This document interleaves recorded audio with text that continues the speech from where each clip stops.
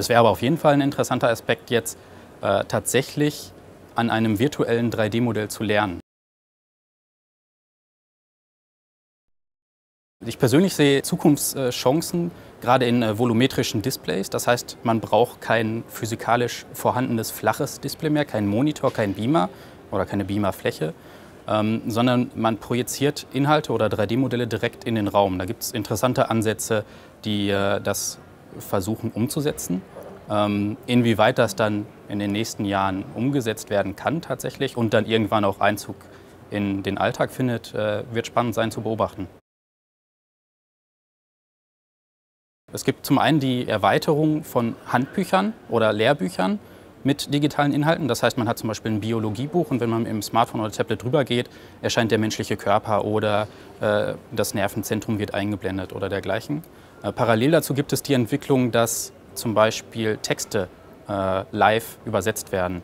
Das heißt, man hält sein Smartphone über ein äh, fremdsprachliches Buch oder ein fremdsprachliches äh, Plakat und bekommt auf dem Display direkt die Übersetzung eingeblendet. Ein großer Aspekt der Augmented Reality ist, dass man ähm, im Prinzip ein virtuelles Fenster in eine Maschine öffnen kann und so den direkten Blick auf äh, einzelne Bauteile, auf Elemente der Maschine offenlegen kann und so wieder zeigen kann, was denn für Prozesse darin ablaufen.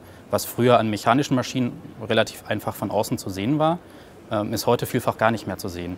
Und äh, das ist halt ein Aspekt, den man durch die Verknüpfung der Realität mit diesen digitalen Inhalten, durch die Augmented Reality sehr gut umsetzen kann. Das heißt, wir überlagern die Maschine mit digitalen Inhalten, in unserem Fall dann mit 3D-Modellen ähm, und visualisieren Prozesse und Abläufe, die daran ablaufen.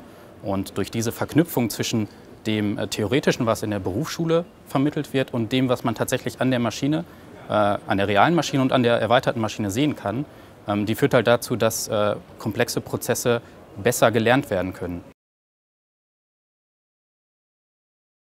Ein großes Hemmnis in dieser Umsetzung digitaler Lernmethoden, gerade wenn Smartphones und Tablets eingesetzt werden sollen, ist ähm, die Hemmung vieler Lehrender bzw. Bildungsinstitutionen, die, äh, diese Geräte einzusetzen.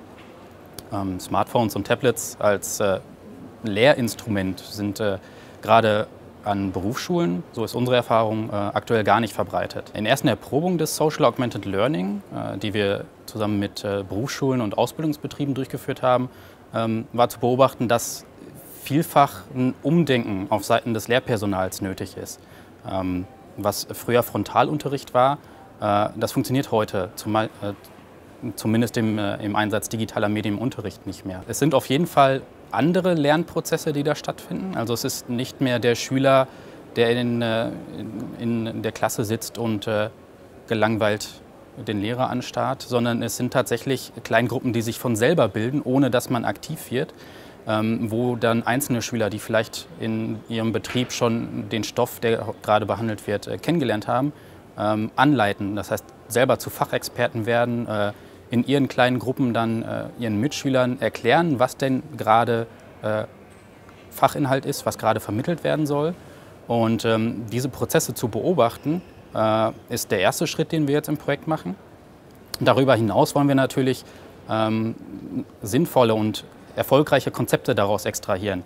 Ähm, das heißt, wir wollen nicht nur schauen, was passiert, wenn man Schülern ohne Anleitung äh, Lerninhalte des Social Augmented Learning an die Hand gibt, sondern direkt ähm, zu zeigen, wie es denn im besten Fall laufen könnte.